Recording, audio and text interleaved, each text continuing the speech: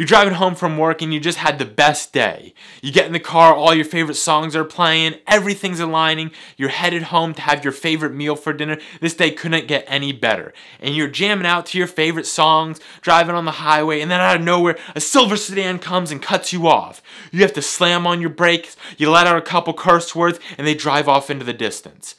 And you're left there filled with rage and anger. And you think to yourself, why did they cut me off? That person's so stupid. They made me so mad. And think about that, what you just said. You said that person made you mad. If they made you mad, then what they really did was they stopped reality, they paused time, got out of their car, opened your car door, cut open your head, and rearranged the chemicals in your brain to make you feel that way.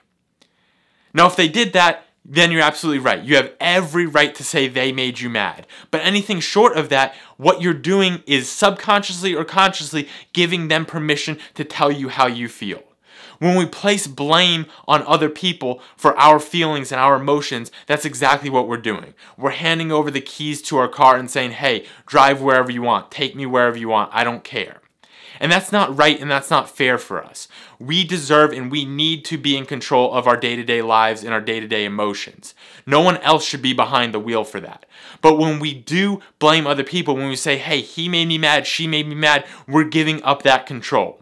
Now, I'm not saying you shouldn't feel emotions and you should be just a stiff robot, emotionless, but what I am saying is when things that upset you happen, acknowledge them. Say, yes, that upset me. He or she did something that upset me, and understand that you're giving permission. You're choosing to feel that way. Nobody is making you feel that way.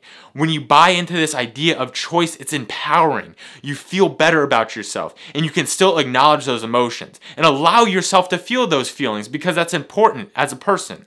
Feel anger, feel upset, and feel mad, but understand that you're making that decision. And then acknowledge those feelings, make the adjustments, and move on. When you do that, and when you maintain the ability to make choices and decisions in your life, you will remain behind the steering wheel and you can take your life wherever you want to go.